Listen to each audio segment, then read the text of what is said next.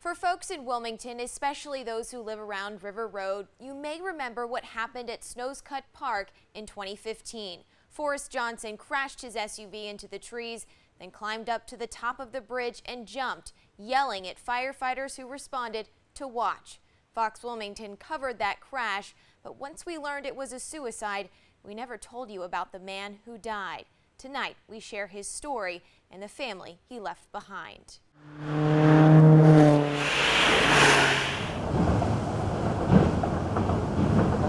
about him growing up, me having to live without him.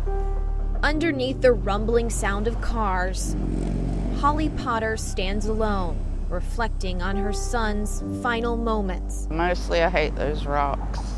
Those rocks where 20 year old Forrest Johnson landed, jumping from the Snow's Cut Bridge.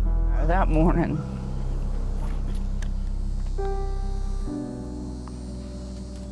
It was the worst day of my life. It was her son's last day alive. He was just always a happy kid.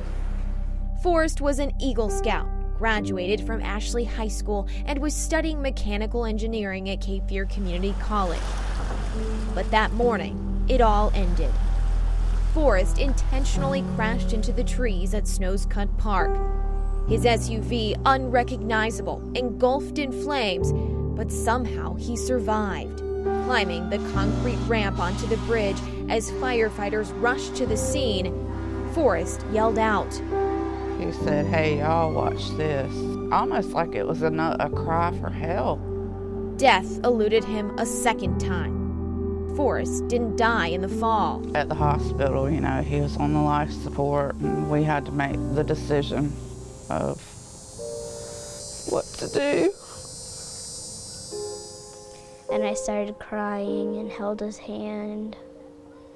Sometimes I, I, I, just really wanted to scream. A frightening day for Lily, who was just eight when her brother died. Why did he commit suicide? Why? Why? And sometimes I get really mad. It stings to write.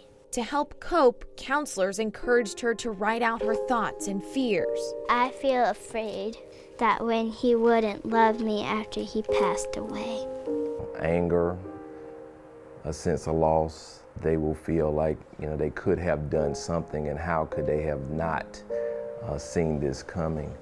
Antonio Roper is a licensed clinician in Wilmington. He says what Lily and her mom are going through is unfortunately more common. Suicides, he says, are on the rise. Tremendous increase in terms of suicides in our county. Stats from the state about suicide are eye opening. In the beginning of the decade, there were 22 in New Hanover County. Four years later, that number nearly doubled to 40, a number that's higher than both the state average and similar sized counties. A lot of our young people are, are taking their lives because of being bullied, feeling inadequate. There's something in his mind that he couldn't over, overcome, and we don't know what that was. She believes Forrest was depressed, but was never diagnosed. She says most people ask if Forrest was under the influence of drugs. He wasn't on anything. He wasn't, he didn't drink, he didn't do drugs, he didn't overdose. After the fact, there's a lot of signs, but at the time, you just think it's a normal kid growing up. Forrest's mom says he was bullied growing up, mainly for his size. Always proud of how tall he was. At 6'3, nearly 200 pounds, he towered over almost everyone. But she says, along with his big size, came a big heart. He loved helping people a lot. And we were witness to that. We interviewed him two years ago when he ran to a neighbor's burning house to help that was it was pretty great to make sure everybody in the neighborhood is looking out for each other. For his sister and mother, their hearts will never be completely whole.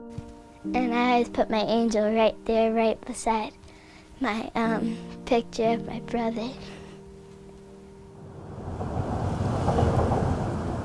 All around her, life goes on, but hers stands still. They have no idea why I'm here or what I'm doing or what I'm thinking. Makes me jealous sometimes that I don't have my baby. Just be kind. Be kind. If you're worried about a loved one, there are several warning signs to look out for. If they're talking about suicide, withdrawing or isolating themselves from family or friends, or are depressed, more anxious than usual, these are just a few warning signs.